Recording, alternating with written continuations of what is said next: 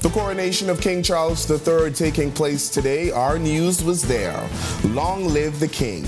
Plus, who is the king and what is his role? Our Marlena Leonard got the tea from a former governor general who danced with the man and the current British High Commissioner. And the Bahamas International Film Festival is happening this weekend. Get your tickets and go see a flick. The details on our arts and entertainment straight ahead as our news weekend starts now.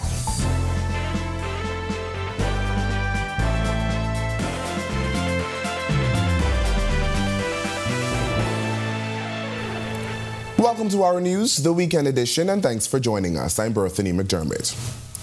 Millions of people across the United Kingdom and around the world were up early watching in awe as Charles became King Charles III, a role he's been preparing for all his life. Our news was there for the historic event. Here's a recap.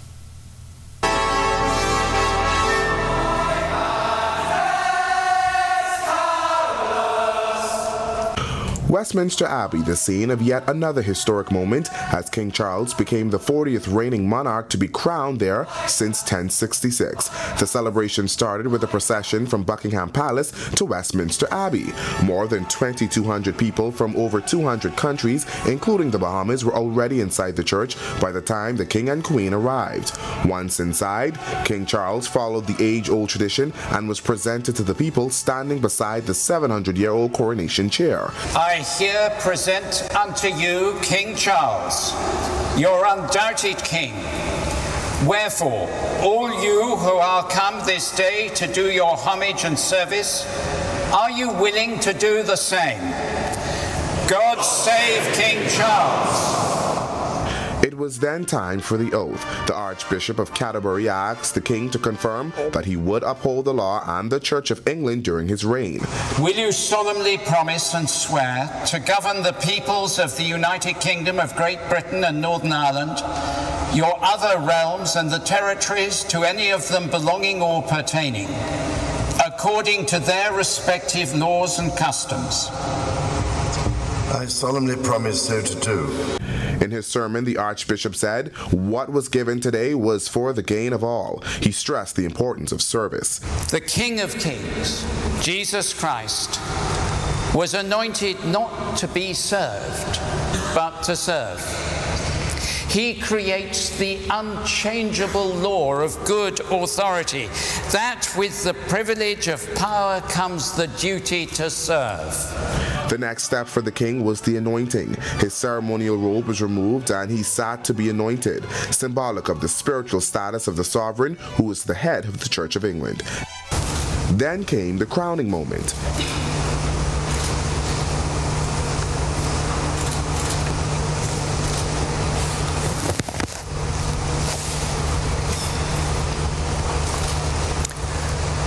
God save the king! Many have brought up the cost of King Charles III's coronation celebrations, possibly costing around 100 million pounds. The Center for Economics and Business Research estimates a boost of over 300 million pounds from the extra tourism and spending in pubs this weekend. We asked British High Commissioner to the Bahamas, Thomas Hartley, about the economic benefits of royalty recently, and while royal visits can have a steep price tag, he tells us, I think it, it's it's hugely popular. I think you know, the image of, of the UK around the world of all the pomp and ceremony is rooted in the royal family. I think that's a really important export for, for, for London. I think it's a really important export for the Bahamas as well. I know that um, when we've been talking a lot about uh, Bahamian exports to the UK, and there's been lots of in interest from uh, from UK importers because of that royal link. He also highlights the American interest in the British royal family. And as Americans are just a flight away from us here in the Bahamas, we can benefit from the tourism opportunities that stem from U.S. visitors wanting to visit places significant to the monarchy. I'm certain that every time a member of the royal family visits the Bahamas, it, it generates a commercial and kind of tourism interest as well. You know, being so close to this US market and knowing just how much Americans love the royal family, it puts the Bahamas on the real on the front line of uh, of uh, taking the opportunities for that the, the, the royal family generates. The solemn ceremony of King Charles's coronation taking place earlier today, but just who is the king and what is his role? Let's take a look back at this piece by our Marlena Leonard. Charles Philip Arthur George was born on November 14, 1948, to then Princess Elizabeth, Duchess of Edinburgh, just four years before she would become Queen Elizabeth II. After Prince Charles received his investiture as Prince of Wales in 1968, he became heavily involved in matters of the Commonwealth, including representing the Queen at the independence celebrations of Fiji in 1970, Papua New Guinea in 1975, Zimbabwe in 1980, and Brunei in 1984. Of course, he was also representing the Crown at our own independence celebrations in 1973. Future Governor General Dame Marguerite Pindling was center stage at much of the celebrations at the time as the spouse of the Prime Minister Sir Lynden Pindling. She shares these memories with the young prince. He stepped off in his uniform, his, his official outfit. Young and handsome he was. They also shared an iconic moment where the young spouse of the Prime Minister and the heir presumptive shared a dance. All the formalities had uh, ended and he said to me, would you like to dance? And I said, yes. You'd like to dance? You could dance Calypso? And he said, yes. Well, my dear, when he took off on the floor, I didn't know where he went. I had to look for him. But um, we had a wonderful time. His Majesty was just 24 years old at the time of our independence celebrations in 1973, and while his mother acceded to the throne at 25 years old, this future monarch would have a much longer time to wait. British High Commissioner to the Bahamas Thomas Hartley says the decades of experience and service gives a window into what we can expect. Yeah, I think he's the, uh, the, the prince that has waited longest to be king in the history of Britain, and uh, he's had more training and more investment and more time to, to show us the type of king he's going to be than anyone else. So I think we're going to see a lot of the same, and I think we're going to see uh, King Charles committed to the Commonwealth, a King Charles committed to climate change and sustainability, a King Charles that travels a lot, particularly to small island states around the world, and a King Charles that will continue in the same spirit of Her late Majesty in serving people first and uh, doing absolutely he can to champion the causes which he feels are globally important.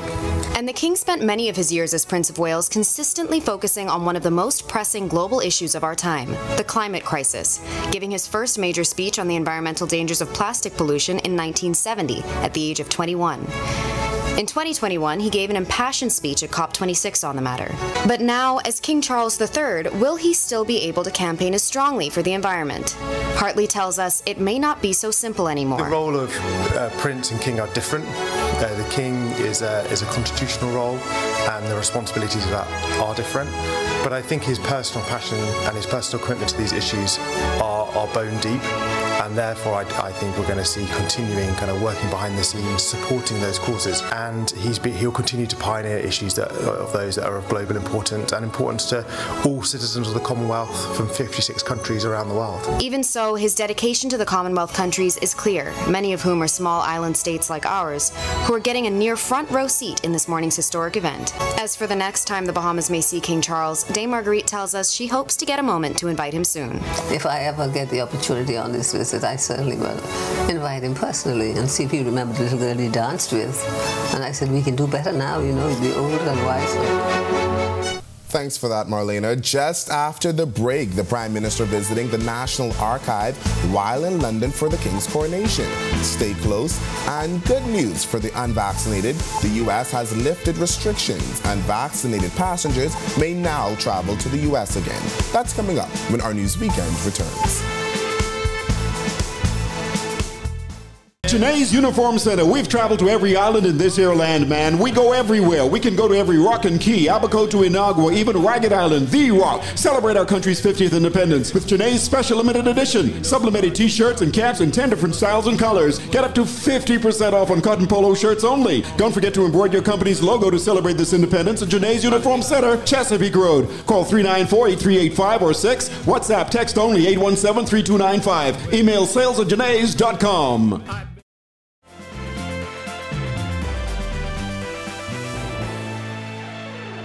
You're watching our news weekend. Welcome back. Days leading up to King Charles III's coronation, the nation's leader participated in a number of events in the United Kingdom. One of them, a visit to the National Archives in London. Jamila Missick reports. Prime Minister Philip Davis paying a special visit to the National Archives in London this week.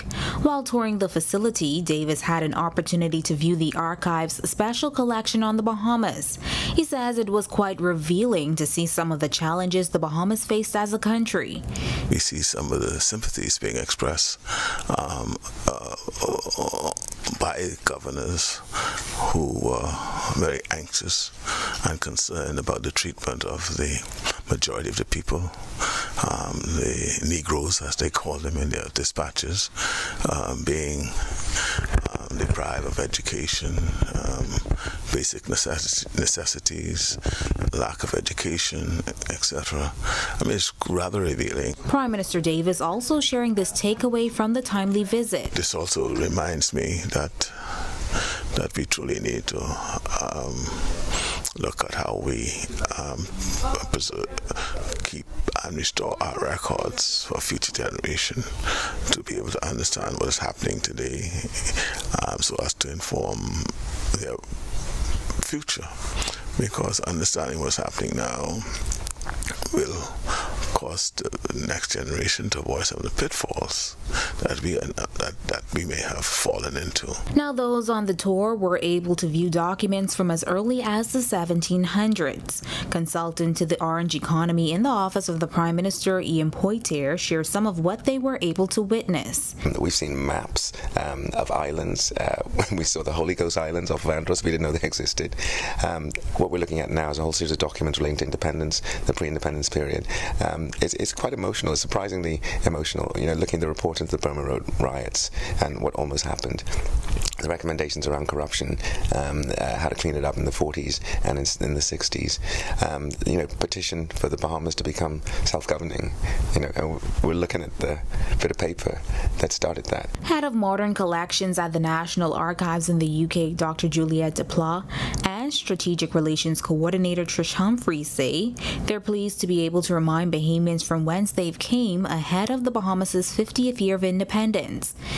We preserve the history of the nation, so it's it's a pretty important job, and it's important for us to give access to those documents as well. It's great. It's really heartwarming, and it's really nice to see that what we do is actually important to people. That preserving history means something to to people today. It's always encouraging to us to see people enjoy what we show them and to have a personal connection with it, and that's probably the best part of my job. Reporting for our news weekend, I'm Jamila Missick.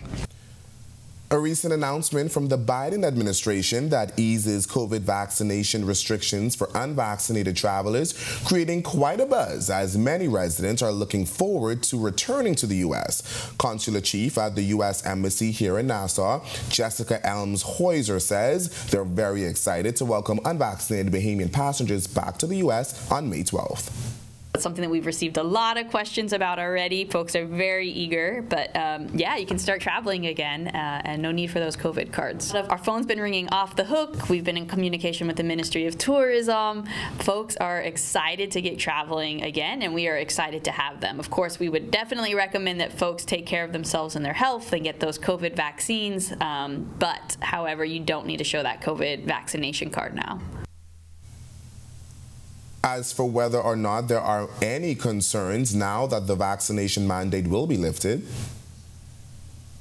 there was always the exemption process. There was ways for unvaccinated individuals who needed to travel to the U.S. Uh, they could travel, and so we could help with that exemption process. So there's always been that option.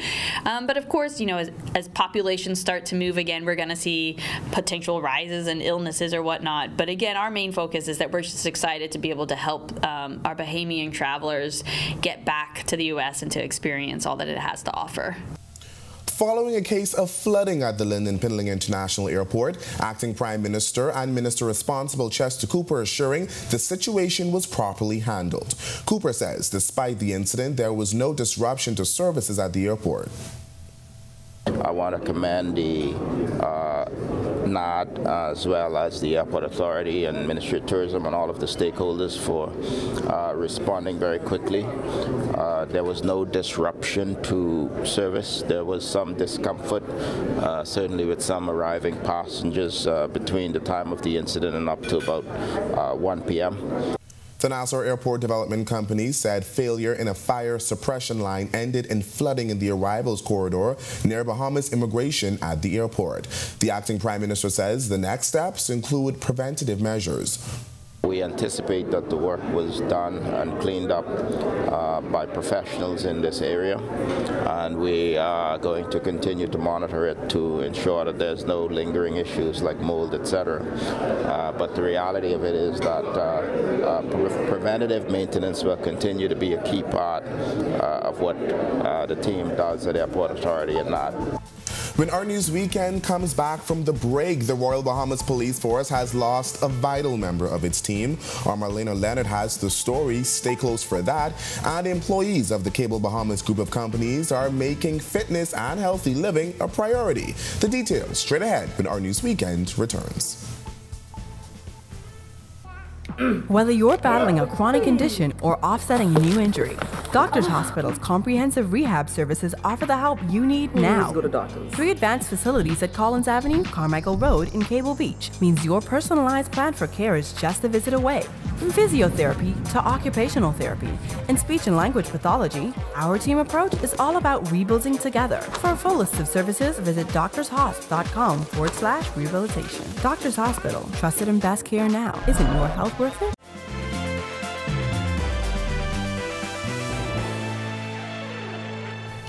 This is our news weekend. Welcome back. News broke earlier this week that the Royal Bahamas Police Force had lost a vital member of their team in the form of an 11-year-old police dog, Rexo. We sat down with members of the K9 unit to discuss the, his legendary legacy and the future of top-notch police dogs in the country. Marlena Leonard has the story. He was not just any dog. He's a dog that the members of this unit classify as a legend. He has been uh, nothing short of miraculous in some of the feats that he would have accomplished. Uh, wherever it was hidden, he would find it. Persons would hide things underground, they would hide things underwater. Wherever they hide it, Rexo would find it. Um, he was an intricate part of this family, and his loss will be felt immensely. Officer in charge of the K9 unit, Assistant Superintendent Kyle Capron, tells us Rexo was a name known across the archipelago and was often specifically requested. But also in our family islands, where persons would call and request his assistance directly. They wouldn't call and say that they want a dog. They would say they want Rexo. A lot of other units that we support, whether it be the Drug Enforcement Unit, mobile units, they would particularly call for K9 Rexo because his reputation precedes him and his success. But I stand firm with a lot of colleagues here that really believe that they have the next Rexo in line. And he set a gold standard where plenty of people are trying to achieve that. So for the criminals and the wannabe criminals that think Rexo is gone, I assure you, if you hide it, we will find it. When asked what they need to help raise more Rexos, training and exposure. Um, it's important to travel and see what works best in different places. Because as you know the criminal element doesn't stay the same. As you find ways to combat crime they find ways to get around what you have learned as it relates to combating the crime that they are trying to commit. So we have to learn lessons from other places that experience the same things that we experience. Rexo himself was a donation from the United States government, Capron tells us. I can't say that the investment that, that they made in giving us Rexo has paid off in leaps and bounds. Um, I think there's no other single tool that the Royal Bahamas Police Force has had for a 10-year period that would have had the impact that Rexo had in, in removing drugs and firearms from the streets. So um, training and exposure is very important. Um, as the criminals change, we need to change also. Reporting for our News Weekend Edition, I'm Marlena Leonard. Thanks for that story, Marlena. The Cable Bahamas group of companies encouraging fitness and healthy living among its employees with a 12-week fitness challenge called Choose to Lose. The challenge saw 23 teams, but only one winner. How does it feel being selected as a winner of this corporate challenge? Euphoric. Awesome, awesome, awesome, awesome, awesome. So winning the challenge was amazing. Um, being new to the company, it was good to see that I'm employed at a place where they acknowledge healthy living, but not only acknowledge it, encourage it. The challenge started out with 23 teams from various departments within the company. Every week, there were activities that team members had to attend and complete. The winning team, Four Girls and a Goal, says teamwork played a big part in their victory. We assist with holding each other accountable with our exercising schedule, with our eating schedule, and we just were committed to our goal. CBL Vice President of Human Resources Ed Duncombe says the company thought it important to focus on the wellness of all its employees, and he says it won't stop here. We want to make sure that we continue, and uh, believe it or not, a lot of the employees are asking about um, other activities that will be taking place. So we want to make sure this becomes a staple initiative within the company, make sure we keep our employees safe, and making sure that they are working out and they're healthy at all times. So we will continue to do this. So watch the space for more things to come. The winning team says they plan on incorporating exercise into their daily lifestyle. I'll continue on what I ever was doing. That's attending the gym after work or before work. Um, on low days when I ain't feeling it, I guess I'll put my headphone on, do a little dancing, a little shaking, whatever it is to get it done. If you want to see the sunshine, you first must weather the storm. And that's easy because the weather report is coming up to prepare you for what's to come. And Bahamas International Film Festival takes place this weekend. Have you gotten your tickets yet? Stay tuned for the details in our arts and entertainment segment straight ahead after the break. Stay close.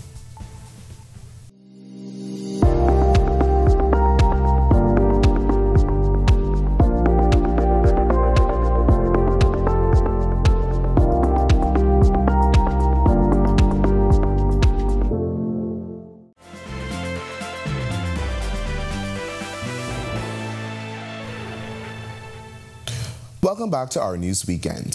The boaters took to the high seas on that poker run today, but was the weather good for them? Let's have a look at the forecast over the next few days.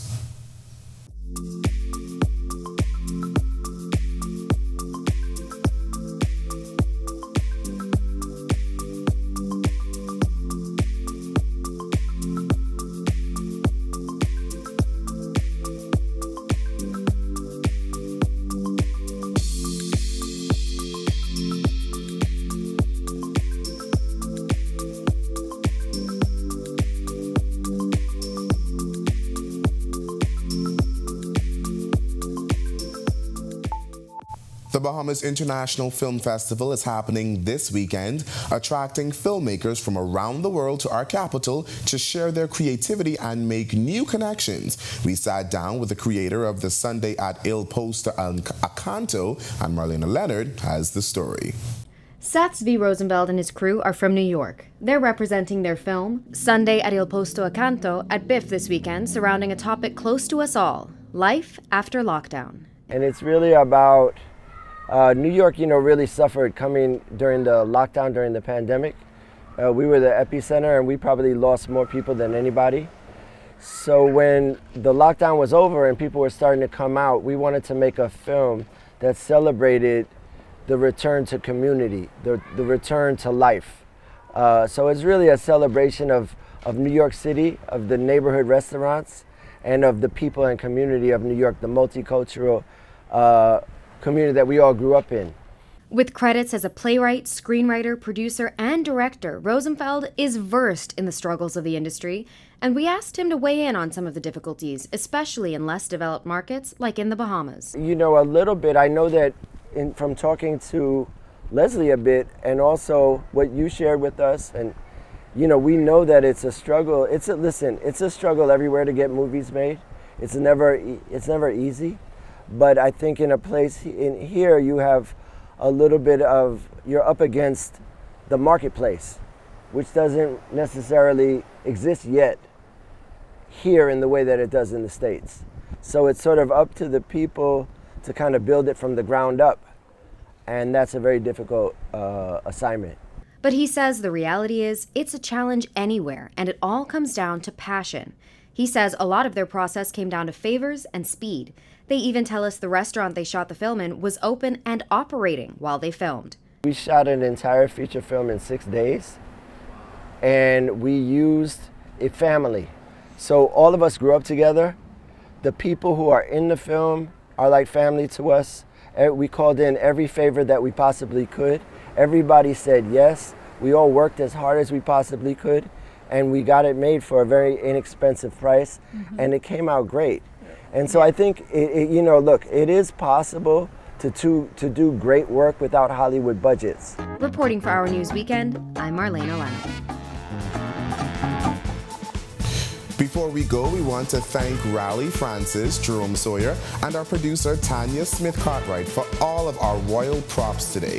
And thank you for joining us for our news weekend. On behalf of our producer and the entire technical team, I'm Berthany McDermott. Long live the king. Continue to enjoy your weekend, everyone.